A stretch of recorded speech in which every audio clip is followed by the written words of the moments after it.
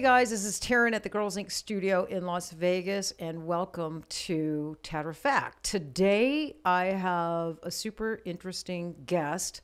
I got a lawyer, and her name is Gina Bongiovi. Welcome, Gina. Thank you. Thanks for having me. Yeah, Bon Jovi. Bon Jovi. Yeah, Not so Van Halen, Bon Jovi. Bon jo- well, uh, yeah, David Lee Roth, Van Halen.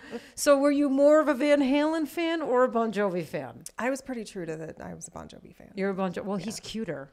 He is cuter. He is cuter. Yeah, He's yeah. aging better. And he's aged but than David Lee Roth. right?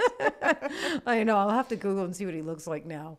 But um, yeah. So, but and I learned this from you because we were talking a little bit before the show that so you spell your name B O N G I O V I, right.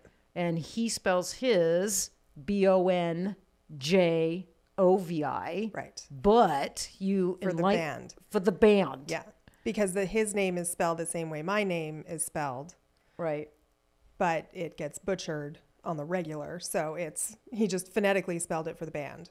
B O N J J. O V I, Yeah. Bon Jovi. Yeah, it's hard to screw up when it's B O N, like Yeah. Bon Jovi. You can sound it out. Well, I think, it, I like mean, hooked on phonics. Yeah, no offense to you, but I guess it looks cooler on an album cover, right? Oh, for sure. Spelled like that. Oh, yeah. Yeah, it does. Uh, so you could be related. Supposedly distant cousin, but I've not had You an got to opportunity the, to you got confirm. to the DNA thing.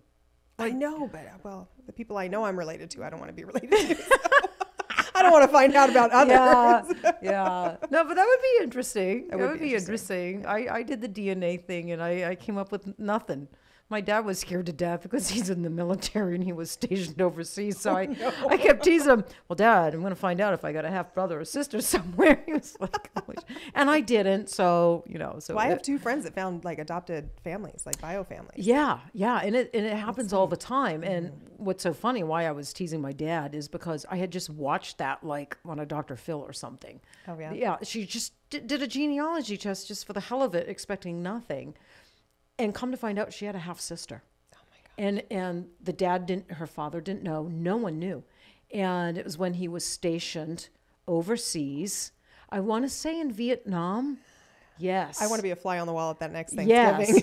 Yeah, and it was like a two part series, and and it, it did all work out really well. Oh, I mean, they, the, they they met. I mean, she flew over to the United States. Oh she met um, the dad, and it, it was a beautiful thing. I remember the dad being really emotional and crying, and it ended up being a beautiful thing. But I'm sure it's not always a beautiful thing, right? right? You never, you never know.